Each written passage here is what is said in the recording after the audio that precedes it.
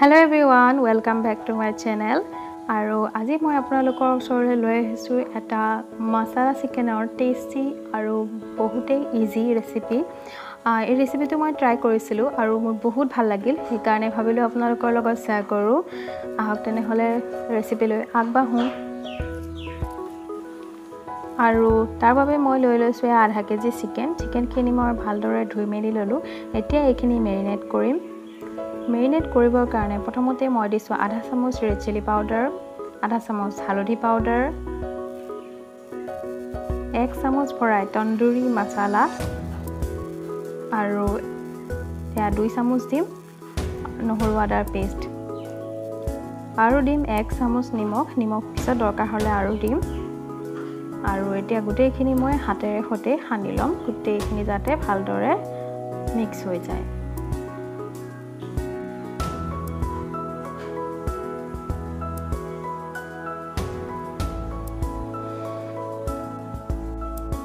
আৰু এয়া গোটেইখিনি ভালদৰে সানি ল'লোঁ। এতিয়া ঢাকোন লগাই দিছোঁ আৰু এক ঘণ্টাৰ কাৰণে ফ্ৰিজত ৰাখি দিম। আৰু এয়া এক ঘণ্টাৰ পাছত মই কেৰাহী গৰম কৰি কেৰাহীত দিম এতিয়া তেল। আৰু কেৰাহীত দিছোঁ এয়া তেল। আৰু তেলখিনি গৰম হোৱালৈ ৰৈছোঁ। আৰু তেল গৰম হৈ গ'ল এতিয়া মই দি দিছোঁ ডাঙৰ চাইজৰ দুটা পিঁয়াজ কাটি।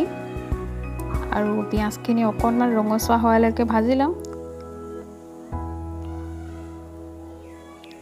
পিঁয়াজখিনি এক মিনিটমান ভজাৰ পাছত মই ইয়াতে দি দিছোঁ দুটা মিডিয়াম চাইজৰ বিলাহী বিলাহীখিনিও এনেকৈ ডাঙৰ ডাঙৰকৈ কাটি দিছোঁ। আৰু এতিয়া গোটেইখিনি তিনি চাৰি মিনিট সময় ভালকৈ ভাজি ল'ম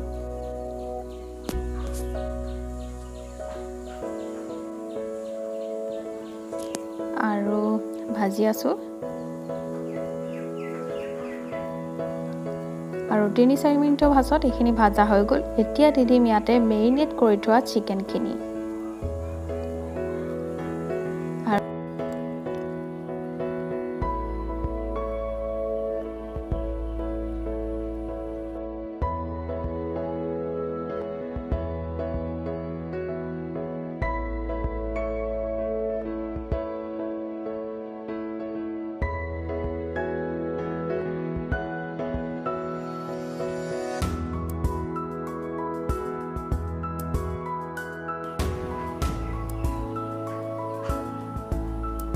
আৰু চিকেনখিনি এক মিনিটমান ভাজি লোৱাৰ পাছত মই ইয়াতে আলুখিনিও এড কৰি দিছোঁ। এয়া তিনিটা সৰু চাইজৰ আলু মই এনেকৈ কাটি দি দিছোঁ আৰু পুনৰ চিকেনখিনি ভাজি আছোঁ। মেৰিনেট কৰোঁতে যিহেতু হালধি নিমখ সেইবোৰ দিয়া আছে। গতিকে এতিয়া বেলেগকৈ দিব নালাগে। পাছত নিমখৰ দৰকাৰ হ'লে অকণমান দিম বাৰু। আৰু এতিয়া গেছৰ ফ্লেমটো হাই কৰিয়েই মই চিকেনখিনি এনেকৈ ভাজি আছোঁ।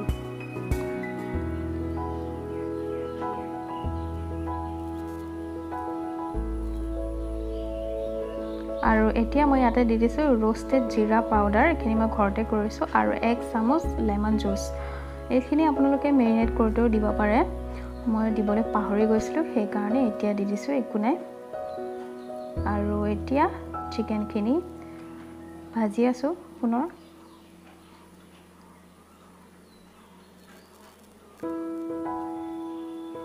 আৰু এতিয়া মই অকণমান সময়ৰ কাৰণে ঢাকোন লগাই দিম। প্ৰায় দুই তিনি মিনিট সময়ৰ কাৰণে। আৰু তিনি মিনিট পাছত ঢাকোনখন খুলিছোঁ। খুলি পুনৰ অলপমান সময় ভাজি লওঁ।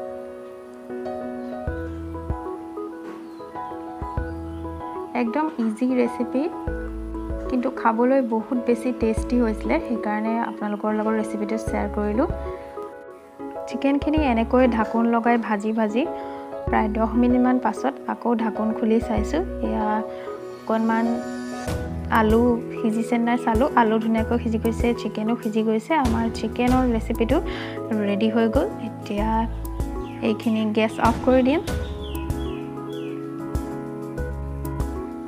আৰু আমাৰ চিকেনৰ ৰেচিপিটো ৰেডি হৈ গ'ল। অকণমান মই ইয়াতে দিছোঁ ধনিয়া কাটি থোৱা ধনিয়া আৰু দি দিছোঁ কেঁচা জলকীয়া। জলকীয়াকেইটা আপোনালোকে আগতো দিব পাৰে মই পাছত দিছোঁ। মোৰ ল'ৰাটোৱে জ্বলা বেছি হ'লে খাব নোৱাৰিবৰ কাৰণে।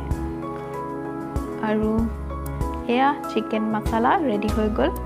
এতিয়া গৰমে গৰমে ভাতৰ লগত পৰিৱেশন কৰা কৰক। আৰু আজিৰ ভিডিঅ'টো যদি ভাল লাগিলে তেনেহ'লে লাইক শ্বেয়াৰ আৰু ছাবস্ক্ৰাইব কৰিবলৈ নাপাহৰিব।